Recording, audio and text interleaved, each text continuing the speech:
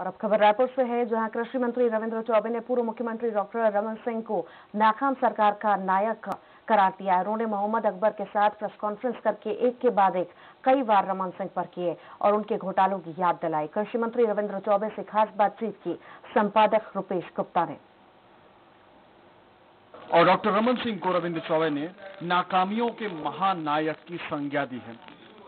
बड़ा हमला आपने बोला है और नाकामियों का महानायक तक बता दिया उनको। छत्तीसगढ़ को हम लोग हिंदुस्तान का समृद्ध और सबसे खुशहाल राज्य बनाना चाहते थे। छत्तीसगढ़ राज्य जब बना था तो विधानसभाओं में हम लोग जब भाषण करते थे, हमेशा हमने कहा कि छत्तीसगढ़ हिंदुस्तान का सबसे समृद्ध राज्य बनेगा। लेकिन दुर्भाग्य से जिनके हाथों चला गया था, पंद्रह साल हुकूमत जिनके पास थी छत्तीसगढ़ को केवल भ्रष्टाचार की गर्त में ले गए। विकास की बातों तो छोड़ दीजिए। केवल यहाँ तिजोरी भरने का छत्तीसगढ़ के संसाधनों को साधन बनाए रहे। और विकास की जो हम लोगों ने कल्पना कर रखी थी, छत्तीसगढ़ में वो विकास मिला नहीं। इसलिए मैंने कहा, असफलता का महानायक थे। पंद्रह साल उन्होंने हुकूमत का नेतृत्व किया। इसलिए अगर असफल रहे तो श्रेय तो उन्हीं को जाएगा ना। सेहरा तो उन्हीं के सिर पे बंधेगा। इसलिए इस बात को कहने की आवश्यकता पड़ी। तो ये भी अपने आप में सवाल है कि 15 साल के इन घोटालों को 15 साल तक कांग्रेस उठाती रही, अब सत्ता में आई है तो क्या ये कांग्रेस की ज़िम्मेदारी नहीं है कि उस पर तेज कार्रवाई हो, जाँच हो, और अगर जो भी दोषी है वो सलाहों के पीछे पहुँचे?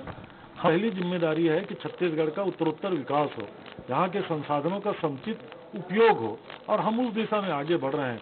ये तो बताने के लिए आवश्यक था कि हमें जो हमारे सरकार के वायदे हमको याद जो दिला रहे हैं उनको उनको वायदे भी मालूम रहना चाहिए उनके घोटाले भी मालूम रहना चाहिए उनके शासनकाल में हुए कांड की भी उनकी जानकारी होना चाहिए।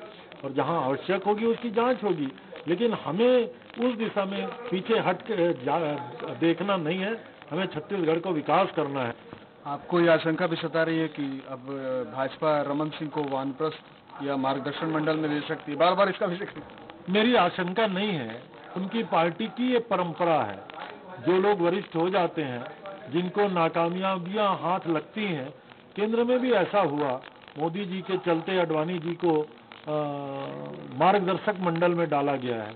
छत्तीसगढ़ में भी मुझे लगता है ये दिन अब आने वाला है। तो ये थे रविंद्र चौबे कृषि मंत्री जो ये कह रहे थे कि 15 साल नाकामियों के साल हैं और इसके नायक डॉक्टर रमन सिंह थे। कैमरामैन श्याम के साथ रायपुर से रुपेश गुप्ता। बिलासपुर ज़िले में